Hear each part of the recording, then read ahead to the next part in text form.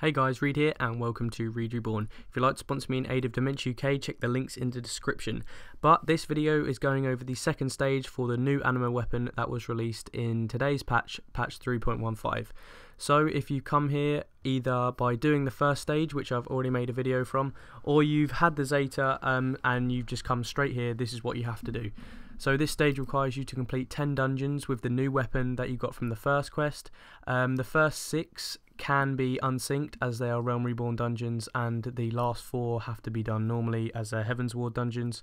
Um, but the only thing you have to do is have the new weapon that you got from the first quest equipped as you leave. You don't have to kill one monster with that weapon. You can have your best weapon equipped, but as long as you equip it before you leave and then exit, you have the objective objective complete and that is all you have to do just do all these 10 dungeons um, it's not like the zeta like dungeon drops like there's a chance you might not get it 100% um, you just have to complete the dungeon uh, that's easy as that it's pretty simple um, not too bad uh, you can do that fairly quickly but that is all you have to do um, but yeah, that was this video was just letting you guys know about how to do the second stage of the Anima weapon.